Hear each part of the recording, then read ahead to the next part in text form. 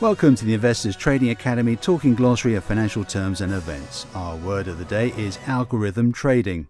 Algorithm trading is a system of trading which facilitates transaction decision making in the financial markets using advanced mathematical tools.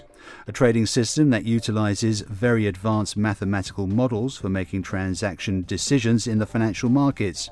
The strict rules built into the model attempt to determine the optimal time for an order to be placed that will cause the least amount of impact on a stock's price.